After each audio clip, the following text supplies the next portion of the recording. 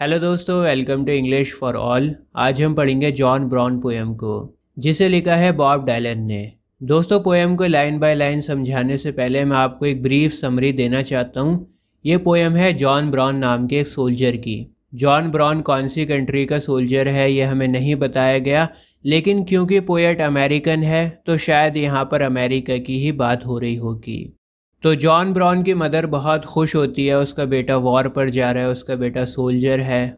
बड़ा proud feel करती है उसकी माँ कि उसका जो बेटा है वो नेशन को सर्व करने के लिए जा रहा है। अब दोस्तों, वॉर का ना अपना एक एक्सपीरियंस होता है। जब हम वॉर के बारे में सुनते हैं या कोई मूवी देखते हैं तो एक अलग एक्सपीरियंस होता है, लेकिन ग्राउंड पर रियलिटी कुछ अलग होती है। हर जगह पर खून खराबा होता है, मारपीट होती है, गोलियों की आवाज़ें होती हैं। बड़ा ही हॉरिबल एक्सपीरियंस होता है वॉर का। तो जॉन ब्राउन वॉर पर जाने से पहले एक अलग इंसान था, और जब ये वॉर पर से वापस आता है तो फिर ये एक अलग ही इंसान बन जाता है। वॉर का एक्सपीरियंस इसको पूरी तरह से चेंज कर देता है। इसकी पर्सनैलिटी, इसका थॉट प्रोसेस सब कुछ बदल जाता है। अब जॉन ब्राउन का एक्सपीरियंस क्या होगा, किस तरह के चेंजेस इसमें आएँगे, कैसे इसका थॉट प्रोसेस बदलेगा, पहले क्या सोचता था, वॉर के बाद क्या सोचेगा तो ये सब हमें पोएम को पढ़ते हुए पता लगेगा। तो चलिए पोएम को शुरू करते हैं और बहुत ही आसान लैंग्वेज में आपको पूरी पोएम समझाता हूँ। John brown went of to war to fight on a फॉरन शोर हिज मामा शोर was proud of him he stood straight and tall in his uniform and all his mama's face broke out all in a green poem की starting में ही poet ने हमें बता दिया है कि एक जॉन ब्राउन नाम का सोल्जर है। और वो वॉर पर जा रहा है। ऑन अ फॉरेन शोर एक दूसरे देश में जा रहा है लड़ाई करने के लिए। और माँ बड़ा प्राउड फील कर रही है क्योंकि उनका जो बेटा है, बच्चा है जॉन ब्राउन वो अपने नेशन के लिए फ़ाइट करने जा रहा है। वो एक सोल्जर है और अपने नेशन के लिए फ़ाइट करने जा रहा है। अपने नेशन को सर्व कर रहा है। अब कौन सा नेशन है, ये हमें नहीं पता। जिस दिन जॉन ब्राउन जा रहा था वॉर पर उस टाइम वो स्ट्रेट टॉल खड़ा हुआ था यूनिफॉर्म में। स्ट्रेट टॉल और यूनिफॉर्म का मतलब यहाँ पर ये है कि जॉन ब्राउन ख़ुद भी बहुत ज़्यादा प्राउड है। He is proud to be a soldier उसे गर्व है अपने काम पर, उसे गर्व है अपने सोल्जर होने पर। और जब आप कॉन्फिडेंट होते हो ना प्राउड होते हो तो आपकी बॉडी लैंग्वेज अलग होती है। तो स्ट्रेट टॉल यूनिफॉर्म ये तीनों वर्ड्स बॉडी लैंग्वेज बता रहे हैं कि जॉन ब्राउन की बॉडी लैंग्वेज किस तरह की थी जब वो वॉर पर जा रहा था? और उसकी माँ उसे देखकर मुस्कुरा रही थी, बहुत खुश थी। ओ सन you look so fine I am glad you are sun of mine you make me proud to know you hold a gun do what the captain says lots of medals you will get and we will put them on the wall when you come home John brown का बेटा जब जा रहा होता है तो उसकी माँ कहती है कि बेटा, तुम इस सोल्जर की यूनिफॉर्म में बड़ा अच्छा लग रहे हो, बहुत अच्छे लग रहे हो। मुझे प्राउड है कि तुम मेरे बेटे हो। दोस्तों, एक सोल्जर की पोस्ट हमेशा से रिस्पेक्टेड रही है। आर्म्ड फोर्सेस में सर्व करने को हमेशा से डिग्निफाइड और नोबल प्रोफेशन माना जाता है। तो उसकी माँ को बड़ी खुशी है इस बात की, बड़ा प्राउड फील कर रही है कि उसका बेटा आर्म्ड फोर्स में है, एक सोल्जर है, अपने नेशन को सर्व कर रहा है। माँ बेटे को सलाह देती है कि बेटा जैसा जैसा कैप्टन बोलें, वैसा वैसा करना और तुम्हें बहुत सारे मेडल्स मिलेंगे। और फिर जब तुम अपने घर में वापस आओगे ना तो फिर हम उन मेडल्स को दीवार पर टांगेंगे। अमूमन क्या होता है कि जब एक सोल्जर वॉर के लिए जाता है तो माँ बहुत इमोशनल हो जाती है, रोने लगती है। क्योंकि सोल्जर अपनी जान पर खेलता है, पता नहीं घर पर वापस आ भी पाएगा या नहीं, या फिर शहीद हो जाएगा। लेकिन यहाँ पर जॉन ब्राउन की माँ इतना ज़्यादा प्राउड है कि वो भूल चुकी है कि आ, शायद उसका बेटा वापस भी ना आ पाए वॉर में से। वो तो ख्वाब सजा रही है कि जब मेरा बेटा वापस आएगा मेडल लेकर तो मैं उस मेडल को दीवार पर लगाऊँगी। मतलब उसको श्योरिटी है कि उसका बेटा वापस आएगा सही सलामत मेडल लेकर। इतना ज़्यादा प्राउड है इतना ज़्यादा खुश है इतना ज़्यादा ख्वाब देख रही है कि उसको डेंजर का कोई अंदाज़ा ही नहीं है। अभी उसे ख़तरे का एहसास नहीं है कि एक सोल्जर किस तरह के ख़तरों से खेलता है। As date old train pulled out Johns मा begin to shout telling everybody in the neighbourhood that's my sun that's about to go he is a soldier now you know she made well sure her neighbours understood दोस्तों, अब John brown एक पुरानी सी train में जा रहा होता है। Again उसकी माँ बेहद खुश है और वो चीख चीख कर उसको अलविदा कह रही है, चिल्ला रही है। और बड़ा खुश है। आसपास के लोगों को बता रही है कि देखो, वो है मेरा बेटा। ये एक सोल्जर बन चुका है अब और ये अपने नेशन को सर्व करने के लिए जा रहा है। ठीक है आस पड़ोस में जो है ना, उसके लोग मौजूद, उनको बता रही है, बड़ा प्राउड फील कर रही है अपने बेटे के ऊपर। अब यहाँ पर हमें ये भी पता लगता है कि जॉन ब्राउन की माँ सिर्फ़ खुश नहीं है, बल्कि वो ये दिखाना भी चाहती है कि उसने एक सोल्जर को जन्म दिया है। वो शो ऑफ़ भी करना चाहती है। दिखाना चाहती है दुनिया को कि उसका बेटा कितना बहादुर है, जंग पर जा रहा है।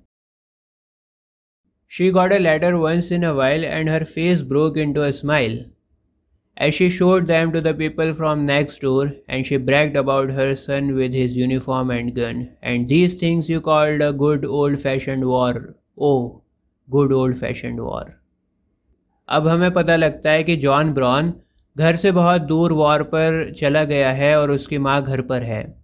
और माँ को जॉन ब्राउन का लेटर कभी कभी रिसीव होता है। Once in a while she receives a letter from John brown. कभी कभी उसको लेटर मिलता है जॉन ब्राउन का। और लेटर पढ़कर माँ बड़ा खुश हो जाती है।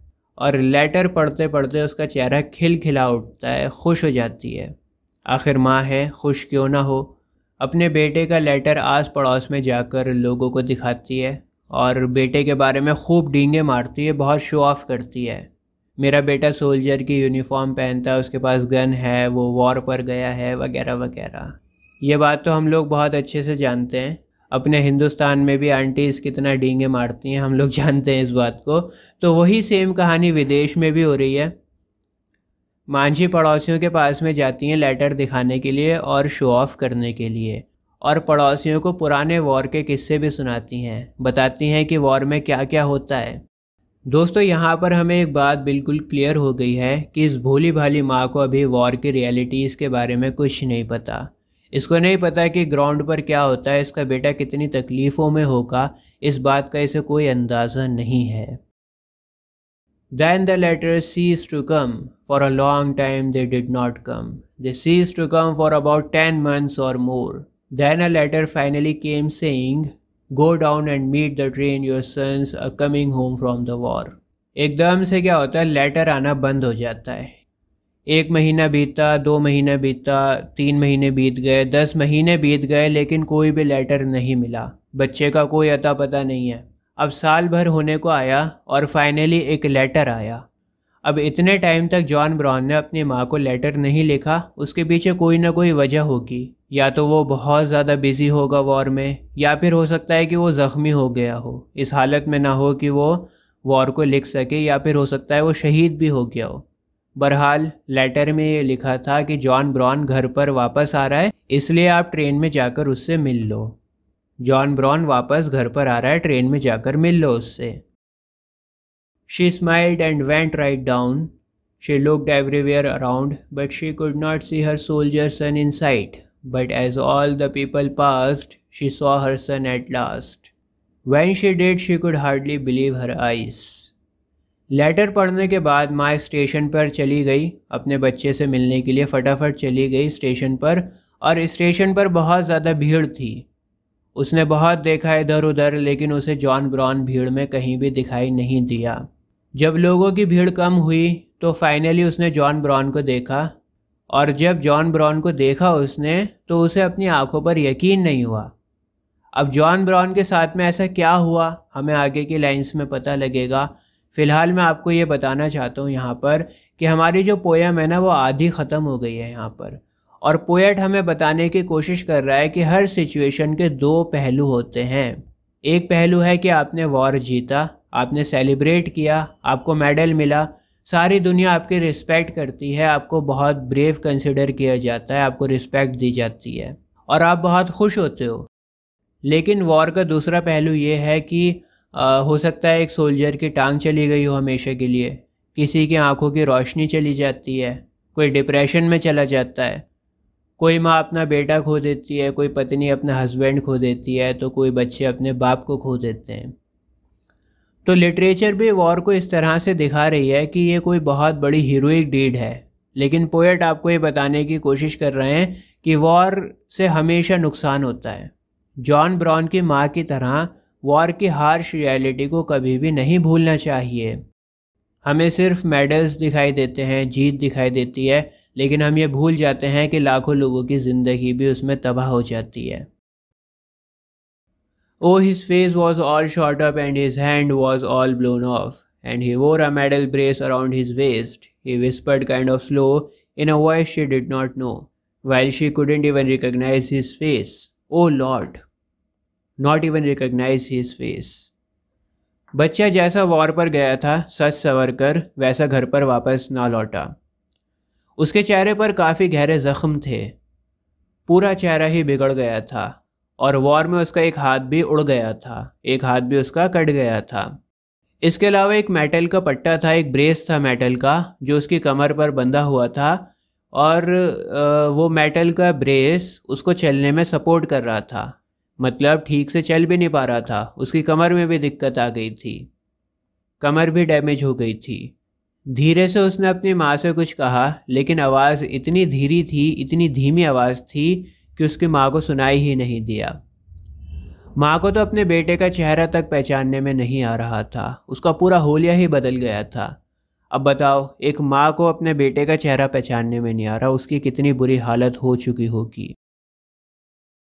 ओ tell me my darling sun pray tell me what they done how is it you come to be this way He tried his best to talk, but his mouth could hardly move, and the mother had to turn her face away अब माँ बड़ा परेशान हो जाती है अपने बच्चे को इस हालत में देखकर। उसने तो कुछ और ही सोच रखा था। उसने तो सोचा था कि मेरा बेटा बहुत सारे बड़े बड़े मेडल्स लेकर आएगा, मैं दुनिया भर में गाती फिरूँगी शो ऑफ़ करूँगी। लेकिन बच्चा जैसा गया था, वैसा वापस ना आ पाया, सारे अरमानों पर पानी फिर गया। और उसकी ऐसी हालत हो गई कि उसको कोई पहचान भी ना पाए। और माँ से ये हालत देखी ना जाए। माँ ने अपने माइंड में जितने भी परसेप्शन बना रखे थे वॉर को लेकर, जितनी भी बड़े बड़े ख्वाब सजा रखे थे, वो सब उड़ गए। एक पल में सब कुछ बदल गया और अब उसे समझ में आ गया है वॉर की हार्श रियलिटी के बारे में। वो पूछती है कि बेटा ये सब कैसे हुआ? किसने किया? बच्चे ने बड़ी कोशिश करी बात करने की, समझाने की, लेकिन उसका मुँह हिल भी नहीं पा रहा था। पेन हो रहा था ना मुँह के अंदर, ज़ख़म थे। तो उसका मुँह हिल भी नहीं पा रहा था बात करने के लिए। और माँ जब ये हालत देखती है अपने बच्चे की कि उससे कुछ बोला भी नहीं जा रहा तो वो अपने मुँह को फेर लेती है, उससे उसकी हालत भी नहीं देखी जाती। डोंट यू रिमेंबर माँ when I went of to war you thought it was the best thing I could do I was on the battle ground you were home acting proud you was and there standing in my shoes अब बच्चा हिम्मत करके अपनी माँ को जवाब देता है और कहता है कि, माँ, आपने कहा था ना मुझसे, वॉर पर जाना सबसे बड़ा काम होता है, इससे बड़ा काम कोई नहीं होता। तुम वॉर पर जा रहे हो, ये सबसे बड़ा काम है। मैं तो बैटल ग्राउंड में लड़ाई कर रहा था और तुम घर पर बहुत प्राउड फील कर रही थी कि मैं वॉर पर हूँ। लेकिन माँ, रियलिटी वैसी नहीं थी जैसा तुम और मैं सोच रहे थे। रियलिटी बिल्कुल अलग थी। You wasn't there standing in my shoes तुम वहाँ नहीं थी, जहाँ मैं था। तुमने वो मंज़र नहीं देखा जो मैंने देखा है। तुम पर वो नहीं गुजरी जो मुझ पर गुजरी है। कहानियों और रियलिटी में बहुत फ़र्क होता है माँ। मुझे एक्सपीरियंस हुआ है कि वॉर में क्या होता है। I know the harsh reality of war oh and I thought when I was there God what M I doing here I am trying to kill somebody और die trying But the thing that scared the most was when my enemy came close, and I saw that his face looked just like mine. Oh Lord, just like mine.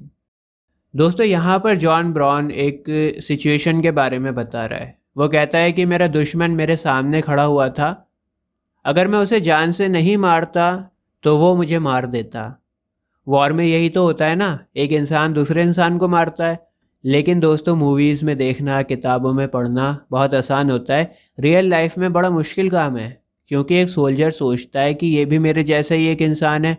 इसकी भी माँ होगी, बहन होगी, बच्चे होंगे, इसका भी मेरे जैसा घर होगा। और मेरी कोई दुश्मनी थोड़ी है इससे। लेकिन फिर भी ये मेरी ड्यूटी है कि मैं उसकी जान लूँ, उसको जान से मार दूँ। सोच कर देखो कितनी ज़्यादा डरावनी सिचुएशन होती होगी। कभी कभी हम देखते हैं जानवरों पर जुल्म होता हुआ यूट्यूब वगैरह पर वीडियोस आ जाती है तो हमसे देखा नहीं जाता, हम फ़ौरन वीडियो को बंद कर देते हैं। और यहाँ पर बात हो रही है किसी बेगुना इंसान को मारने की, वो तो बिल्कुल भी नहीं हो सकता। लेकिन एक सोल्जर की ये ड्यूटी होती है अपने नेशन को सर्व करने के लिए, वॉर के लिए उसको मारना पड़ता है। तो यहाँ पर जॉन ब्राउन बता रहे हैं कि वो मेरे सामने खड़ा दुश्मन मेरे जैसे ही था। और अगर मैं उसे नहीं मारता तो वो मुझे मार देता। और बड़े अफसोस के साथ उन्होंने ये बात बताई। And I couldn't help but think through the thunder rolling and stink date I was just a पपेड in a play and through the roar and smoke this string is finally broke and a cannon ball blew my eyes away और अब finally John brown को war की reality के बारे में पता लग जाता है।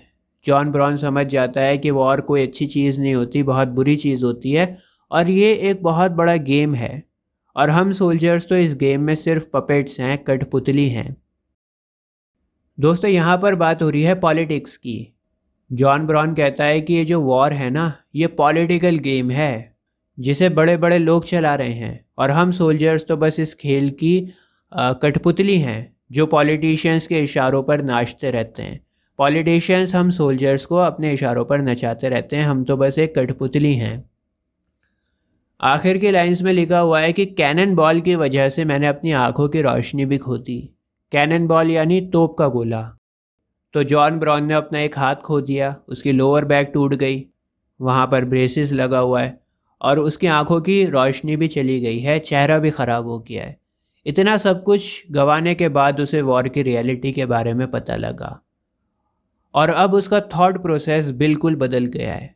पहले तो वो बड़ा एक्साइटेड था, बड़ा अच्छा उसको लग रहा था वॉर पर जाना, बड़ा प्राउड फील कर रहा था, बड़ा कॉन्फिडेंट था। लेकिन अब उसे समझ में आ गया है कि ये बेकार की चीज़ है, जिसमें सिर्फ़ और सिर्फ़ बर्बादी है। And he turn away to walk his मा was still in shock eight seeing the medal ब्रेज that help him stand and as he turn to go he called his mother close and he dropped his medals down in to her hand दोस्तों, ये आखिरी stanza है और यहाँ पर mother के reaction के बारे में बताया गया है। जैसे ही जॉन ब्राउन चलने के लिए पीछे मुड़ता है, उसकी माँ वहीं की वहीं खड़ी रहती है और कुछ भी रिएक्ट नहीं करती। नम खड़ी हो जाती है, एकदम सुन हो जाती है। वो देखती है कि कैसे उसके बच्चे के मेटल का ब्रेस लगा हुआ है उसकी कमर पर और वो ठीक से चल भी नहीं पा रहा है। मेटल ब्रेस की वजह से अपने टांगों पर खड़ा भी नहीं हो पा रहा। ये क्या हालत हो गई मेरे बच्चे की? इस शौक में वो हिल भी नहीं पाती अपनी जगह से, एकदम नम खड़ी रहती है। अब जॉन ब्राउन अपनी माँ को आवाज़ देकर बुलाता है and he dropped his medal down in to her hand ये बड़ी पावरफुल लाइन है। देखो, उसकी माँ ने कहा था ना स्टार्टिंग में कि बेटा तुम वहाँ पर वॉर पर जाओ, और बहुत सारे मेडल्स को लेकर आना। मैं दीवार पर सजाऊँगी उन मेडल्स को, लोगों को दिखाऊँगी। तो जॉन ब्राउन वापस आकर अपनी मदर को मेडल दे देता है ये लो मेडल। तो यहाँ पर मेडल एक आयरॉनिक रेफरेंस है फ्यूटिलिटी ऑफ़ वॉर का। मेडल यहाँ पर दिखा रहा है कि वॉर कितना ज़्यादा नुकसान पहुँचाता है। वॉर कितना ज़्यादा फ्यूटाइल होता है, कितना ज़्यादा बेकार है। एक मेडल के चक्कर में उसकी पूरी ज़िंदगी बेकार हो गई। दोस्तों आईएससी के सभी चैप्टर्स मैंने अपलोड कर रखे हैं। अगर आपको इसी तरह से बहुत ही आसान लैंग्वेज में समझना है तो ऊपर कार्ड्स में या डिस्क्रिप्शन बॉक्स चेक कर लो। आपको सभी वीडियोस फ्री ऑफ़ कॉस्ट मिल जाएँगी, फ़ायदा उठाओ। आज के लिए बस इतना ही। जय हिंद।